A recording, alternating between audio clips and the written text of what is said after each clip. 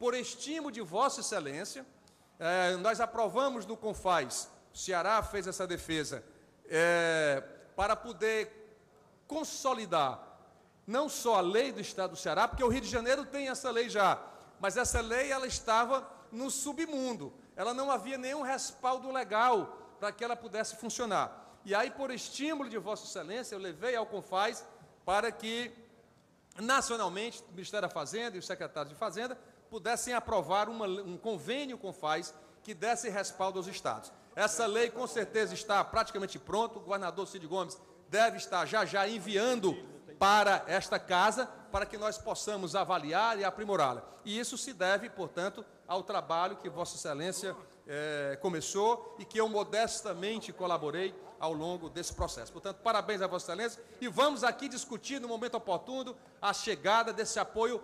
Eu agradeço o deputado Mauro Filho e ontem mesmo, deputado Mauro Filho, estava ao telefone com o presidente do Clube de Regatas do Flamengo para falar de outros assuntos e destaquei o trabalho, esse trabalho que Vossa Excelência falou agora, de que foi Vossa Excelência que convalidou uma lei que estava descoberta para o Rio de Janeiro, para São Paulo, para os outros estados que já dispunham dessa lei. E fiz questão de frisar o vosso empenho é, para que não só convalidasse é, essa lei no Brasil, mostrando para todos os cearenses que esse é um caminho sem volta que com certeza o governador Cid Gomes irá estar trazendo para cá para aprovação de todo esse parlamento. Eu ouço com prazer o deputado Wellington Landim, líder do, do PROS.